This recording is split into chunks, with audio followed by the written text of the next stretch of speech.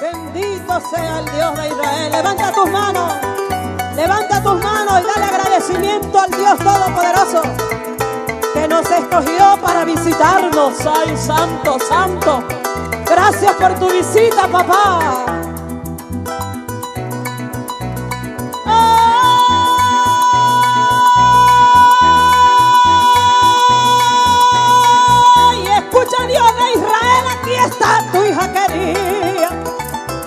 Aquí está tu hija querida testificándole al mundo que estoy muy agradecida por la obra de Jesús, mi redentor y Mesías.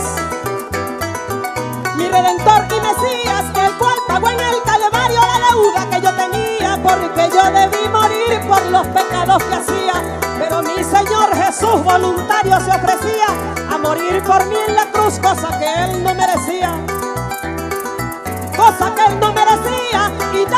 sucedió quiero contarlo enseguida apoyándome en la Biblia como la maestra guía. La Biblia dice bien claro todito lo que sería el sacrificio de Cristo conforme a la profecía. Todo empezó aquel momento de medianoche partía cuando Judas en el huerto lo entrega con picardía y los soldados lo apresan y luego lo llevarían ante el sumo sacerdote de la religión judía. Y aquel concilio judío muchas preguntas le hacía pero Jesús respondió con humildad y valentía yo soy el hijo de Dios el profeta que vendría como queriendo decir para que respeten mi cría y cuántos son de esa cría esa es tu cría luz del mundo.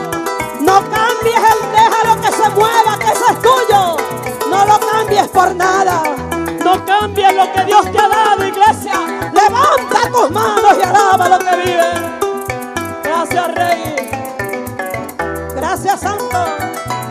Una letra que le pertenece al casoneño Omar Cábulo de Colombia. Vamos, vamos, vamos, zapatea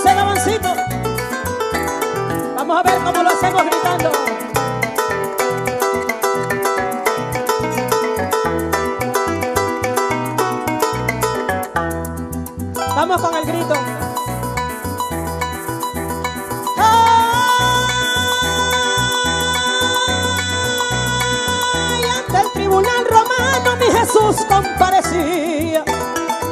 Mi Jesús comparecía porque Herodes y Pilato la sentencia le darían. Pilato dijo que en Cristo ninguna maldad veía.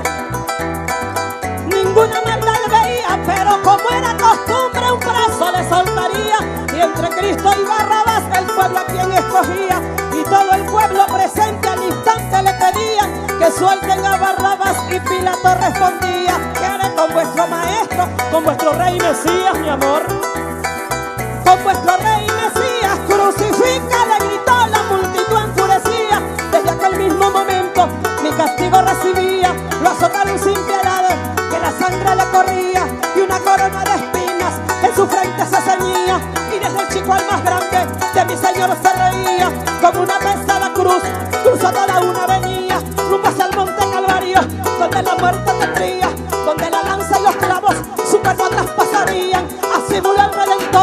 En la más grande agonía, cruelmente crucificado con sus manos extendidas, pero así resucitó al cumplirse los tres días, venció al diablo, a la muerte y la tumba está vacía. Y la tumba está vacía, ahora se encuentra en el cielo y yo espero su venida. Por ese gran sacrificio, mi alma está redimida.